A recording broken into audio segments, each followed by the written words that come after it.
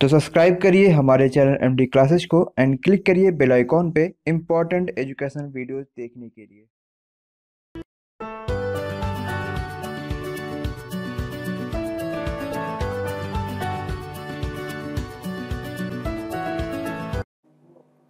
नमस्कार दोस्तों, स्वागत है आप सभी का एमडी क्लासेस के यूट्यूब चैनल में। देखिए दोस्तों, यहाँ पर बात कर रहे हैं हम आरआरबी एनटीपीसी के पेपर प्रीवियस ईयर के पेपर के बारे में। वहाँ पर हम आपसे डिस्कस कर रहे हैं। हमने 2 अप्रैल का फ़र्स्ट शिफ्ट और सेकंड शिफ्ट का पेपर आपके साथ डिस्कस कर लिया है। तीन अप्रैल के पेपर का फ़र्स्ट शिफ्ट हम आप, आपके साथ डिस्कस करेंगे। तीन अप्रैल 2016 को ये पेपर हुआ था।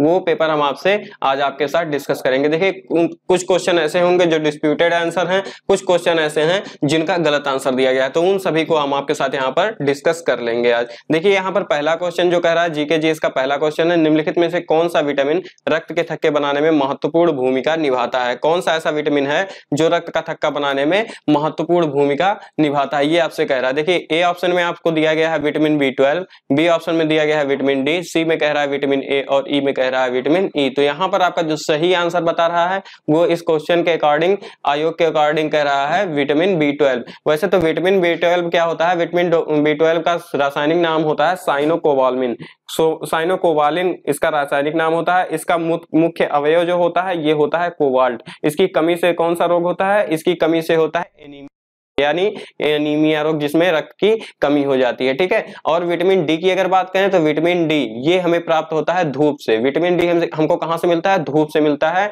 धूप में आप बैठेंगे शरीर में ये बनेगा इसकी कमी से अस्थि अस्थिजीर्णता यानी रिकेट्स रिकेट्स रोग या सूखा रोग इसकी कमी से हो जाता है ठीक है? तो अब आगे बढ़ते हैं विटामिन ए की बात कर लेते हैं। विटामिन ए का क्या नाम होता है? विटामिन ए का नाम रासायनिक नाम होता है रेटिनॉल इसका इसको कहाँ से मिलता है? इस ये मतलब लीवर में इकट्ठा होता है ठीक है? इसकी कमी से कौन सा रोग होता है? विटामिन ए की कमी से ये इसकी कमी से होता है रतौधी रोग। और पीले फल में ये मुख्य रूप से पाया जाता है। और पीले फल खास करके आम में आम के फल में ये काफ़ी ज़्यादा पाया जाता है। और अगर हम बात करते हैं विटामिन ई की जो आपके ऑप्शन डी में दिया गया है तो विटामिन ई क्या होता है? इस, इसका रासायनिक नाम होता है टोकोफेरॉल टोकोफेरॉल इसको एक कहा जाता है ब्यूटी विटामिन भी इसको कहा जाता है। इसकी कमी से रोग कौन सा होता है? इसकी कमी से काफ़ी मतलब नपुंसकता का रोग होता है, ठीक है? और चलते हैं, आगे देखते हैं। अगला क्वेश्चन आज देख लेते हैं। अगला क्वेश्चन कौन सा है? इसका सही आंसर जो दिया गया है, ये दिया गया है विटामिन बी ट्वेल्व अगला क्वेश्चन देखिए देखिए, सबरी कार्तिक के बारे में पूछा है। सबरी कार्तिक कौन है? तो यहाँ पर आपको जो ऑप्शन दिया गया है सबरी कार्तिक के बारे में, ये ए ऑप्शन कह रहा है प्रसिद्ध भारतीय कराटे चैंपियन बी ऑप्शन कह रहा है रग्बी खिलाड़ी सी कह रहा है क्रिकेट खिलाड़ी और डी कह रहा है कबड्डी चैंपियन, ये चार ऑप्शंस आपको दिए गए हैं। तो जो दूसरा ये आपका प्रसिद्ध भारतीय कराटे चैंपियन, ये चीज़ सही आंसर है आपका। ये देखिए एशियन गेम्स में इन्होंने 2010 में एशियन गेम्स हुआ था, वहाँ पे इन्होंने कराटा चैंपियन कराटा चैंपियन ये हुए थे और बाकी उसके बाद भी इन्होंने कई प्रतियोगिताएँ जीती। भारत का प्रतिनिधित्व प्रतिनिधित्व कई प्रतियोगिताओं में सबरी कार्तिक ने किया, इसलिए ये क्वेश्चन आपसे पूछा गया था। तो जैसे जो खिलाड़ी यहाँ पर आपके लाइमलाइट में हो तो उनके बारे में जान लेना बहुत ही ज़्यादा ज़रूरी होता है, क्योंकि उनके पूछा जा सकता है, किसी ना किसी एग्ज़ाम में ज़रूर पूछ लिया जाएगा, ठीक है? तो जैसे आईपीएल हो रहा है तो आईपीएल के बीच में जो भी इंपॉर्टेंट चीज़ें हो रही हैं, जो रिकॉर्ड्स वगैरह बन रहे हैं, जैसे कि सबसे अधिक 200 टी ट्वेंटी जीतने वाला सबसे पहला पहला मतलब टीम कौन सी बनी है? तो ये सारी चीज़ें, दो सौ टी ट्वेंटी खेलने वाली पहली टीम कौन सी बनी है? तो ये सारी चीज़ें आपको देख लेना है, मुंबई इंडियंस सही आंसर है उसका। ठीक है? तो वो सारी चीज़ें आप देख लीजिए। देखिए, अगला क्वेश्चन आपसे कह रहा है, मकर संक्रांति क्या है? मकर संक्रांति के बारे में आपसे पूछ रहा है। ए ऑप्शन में आपसे कह रहा है चंद्र ग्रहण ए ऑप्शन में क्या कह रहा है? मकर संक्रांति चंद्र ग्रहण है। बी ऑप्शन में कह रहा है, फ़सल काटने का त्योहार है मकर संक्रांति। सी कह रहा है, पतंग महोत्सव डी कह रहा है कठपुतली का तमाशा है। तो मकर संक्रांति क्या होता है? जब सूर्य दक्षिणायन दक्षिणायन से उत्तरायण में प्रवेश करता है तो उसी को कहा जाता है मकर संक्रांति, ठीक है? जिसको खिचड़ी भी कहा जाता है। देखिए, पतंग महोत्सव वो अलग की चीज़ है कि पतंग क्या, पतंग की प्रतियोगिताएँ आयोजित की जाती हैं उस दिन, और जो कुछ भी तमाशा होता है वो अलग चीज़ है। लेकिन मकर संक्रांति क्या है? इसका सही आंसर इस क्वेश्चन में आपको नहीं दिया गया है, ठीक है? चलते हैं अगले क्वेश्चन की तरफ़। हमारा अगला क्वेश्चन है, देखिए, ये हमारा ग्यारहवा क्वेश्चन जो है, ये कह रहा है 1610 में गैलीलियो, गैलीली द्वारा की गई खोज में गैलीलियन के चंद्रमाओं की संख्या कितनी है? ये चीज़ आपसे यहाँ पर पूछ रहा है, ठीक है? तो इसका सही आंसर क्या है? ए ऑप्शन में आपसे कह रहा है ए ऑप्शन कह रहा है आपसे दो बी ऑप्शन कह रहा है तीन डी ऑप्शन सी ऑप्शन कह रहा है चार और डी ऑप्शन कह रहा है पाँच। तो इसका सही आंसर जो है ये है सी ऑप्शन में चार जो कहा गया कह रहा है ये सही आंसर है। इस चारों का नाम क्या था? इसका पहले का नाम था आईओ दूसरे का नाम यूरो, यूरोपा था तीसरे का गैनिमिड नाम था और चौथे का क्या नाम था? कैलिस्टो। ठीक है, कैलिस्टो चौथे का नाम था। तो इसी प्रकार से चीज़ों को देखते रहना है आपको और चलते हैं इसी प्रकार से अगले क्वेश्चन देखिए, शून्य डिग्री सेंटीग्रेड कितनी डिग्री फॉरेनहाइट के बराबर होता है? सबसे पहले तो आपको ये जानना है कि सेंटीग्रेड को फॉरेनहाइट में बदलने का फॉर्मूला क्या होता है? तो इसका फॉर्मूला क्या होता है? C equal to five by nine C equal to five by nine उसके बाद ब्रैकेट में F minus thirty two F minus thirty two, इसका फॉर्मूला होता है, ठीक है? अब यहाँ पर आपका जब c इक्वल टू ज़ीरो हो गया, c इक्वल टू जब आप ज़ीरो करेंगे तो यहाँ पे नाइन नाइन से इंटू करेंगे, नौ इधर लेकर के आएँगे, आप नौ क्या हो जाएगा? ये हो जाएगा आपका ज़ीरो नीचे पाँच लेकर के आएँगे, ये भी हो जाएगा ज़ीरो तो इधर आपका क्या बचा? ज़ीरो बराबर एफ़ माइनस बत्तीस, ये आपका बचा तो एफ़ माइनस बत्तीस बराबर ज़ीरो आपका है तो बत्तीस को इधर लेकर के आएँगे तो एफ़ बराबर आपका क्या हो जाएगा? एफ़ बराबर हो जाएगा बत्तीस। तो ये आपका एफ़ बराबर बत्तीस सही आंसर हो जाएगा। ज़ीरो डिग्री सेंटीग्रेड कितने फारेनहाइट के बराबर होगा? बत्तीस फारेनहाइट के बराबर होगा। आपका डी ऑप्शन में जो कहा गया है, ये बिल्कुल आंसर है आपका बत्तीस डिग्री फॉरेनहाइट। देखिए, ये जो फॉर्मूला होता है C equal to five by nine bracket में एफ़ माइनस थर्टी टू ठीक है? ये बहुत ही इंपॉर्टेंट फॉर्मूला होता है। इसको आप एक मतलब नोट कर लीजिए, इस पर प्रैक्टिस भी कर लीजिए, क्योंकि काफ़ी ज़्यादा पूछा जाता है। लगभग एक क्वेश्चन तो पूछ ही लिया जाता है हर एग्ज़ाम में। किसी ना किसी आपको हर, किसी ना किसी शिफ्ट में रोज किसी ना किसी शिफ्ट में ये क्वेश्चन इस प्रकार का मिल जाएगा। देखिए, अगला क्वेश्चन आपसे कह रहा है, भारतीय मुद्रा के नोटों नोट कहाँ पर मुद्रित होते हैं? यानी कि भारत में नोटों की छपाई कहाँ पर होती है? तो ये आपसे ए ऑप्शन में कह रहा है, नई दिल्ली में होती है नोटों की छपाई, बी ऑप्शन में कह रहा है बंबई में, सी कह रहा है नासिक में और डी कह रहा है आगरा में। तो जो सी ऑप्शन में कह रहा है नासिक में, वो बिल्कुल सही आंसर है आपका। भारत में नोट की छपाई होती है नासिक में। अगर आप बात करते हैं सिक्कों की ढलाई की बात मिंट यानी कि टक्साल कहाँ पर है? ठीक है? तो टक्साल कहाँ कहाँ पर है इंडिया में? कोलकाता में है, ये हैदराबाद में। मुंबई में है और नोएडा में है। टक्साल कहाँ कहाँ पर है? चार जगह पर हैदराबाद, मुंबई, कोलकाता और नोएडा। इन चार जगह पर है। सिक्कों की ढलाई होती है इंडिया में। चलिए चलते हैं अगले क्वेश्चन की तरफ़। हमारा अगला क्वेश्चन कौन सा है? देख लेते हैं एक बार।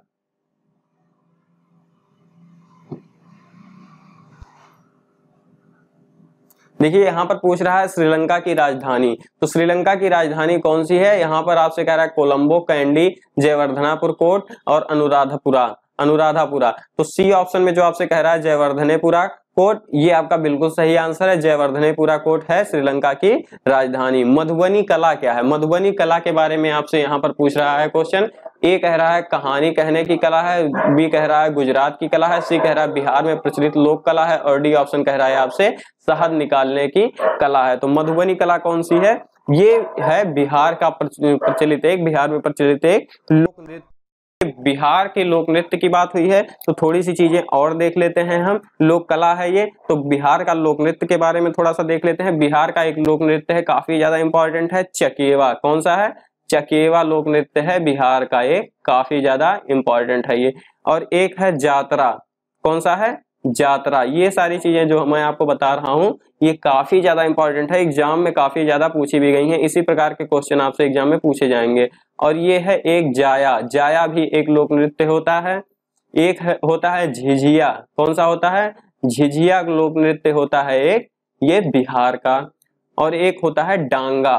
डांगा। नाम थोड़ा अजीब होगा, लेकिन आप इन सबको एक दो बार देखेंगे, दो तीन बार तो आपको याद हो जाएगा। और अगर बात बिहार की हो रही है तो हम बात कर लेते हैं वाल्मीकि नेशनल पार्क की। वाल्मीकि नेशनल पार्क कहाँ पर है? वाल्मीकि नेशनल पार्क है ये आपका बिहार में। वाल्मीकि वाइल्ड लाइफ सेंचुरी भी है बिहार में। Valmiki wild life sanctuary Bihar में। और हम बात करते हैं Gautam Buddha. Gautam Buddha wild life sanctuary भी कहाँ पर है? Gautam Buddha wild life sanctuary भी है बिहार में। और पंत या राजगीर, नेशनल पंत या राजगीर वाइल्ड लाइफ सेंचुरी, इसकी बात करें तो ये भी है, आपका बिहार में पड़ता है। चलिए थोड़ा और देख लेते हैं, आगे बढ़ते हैं। माउंट एवरेस्ट की चोटी पर पहुँचने वाली पहली भारतीय महिला का नाम पूछा है। पहली महिला का नाम पूछा है माउंट एवरेस्ट की चोटी पर पहुँचने वाली।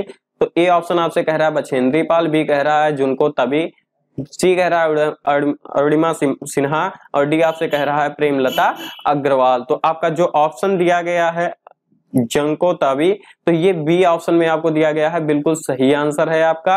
लेकिन अगर आप बात करते हैं बछेंद्री पाल की तो बछेंद्री पाल पांचवी दुनिया की पांचवी महिला थी जिन्होंने एवरेस्ट पर चढ़ाई की थी। लेकिन आप बात करते हैं भारतीय महिलाओं की तो भारतीय महिलाओं में पहले स्थान पर थी बछेंद्री पाल जिन्होंने माउंट एवरेस्ट पर की थी, ठीक है?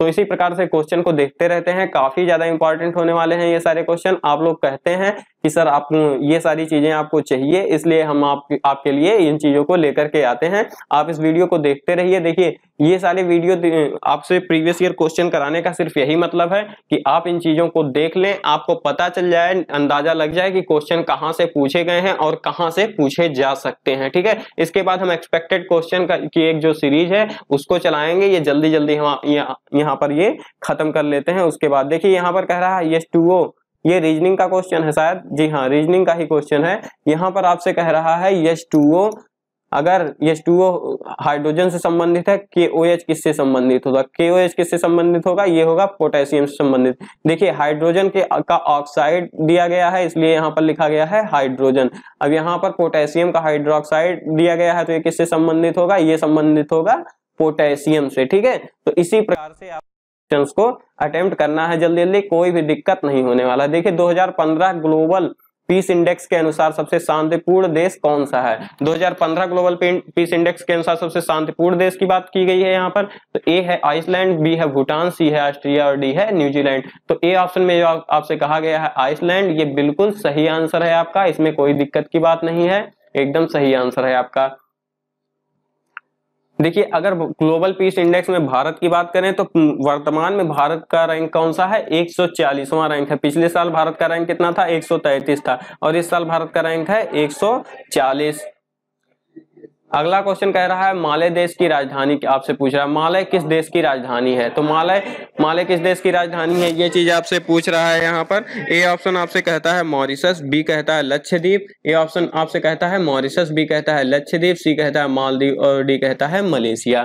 तो माले किसकी राजधानी है? माले है मालदीव की राजधानी। सी ऑप्शन बिल्कुल सही आंसर है। अगर आप बात मॉरिशस की करते हैं तो मॉरिशस की राजधानी क्या है? इसकी है पोर्ट लुइस।